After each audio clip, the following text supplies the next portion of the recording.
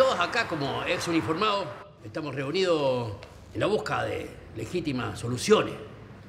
Y lo que es más importante, la búsqueda de, de nuestras reivindicaciones sociales.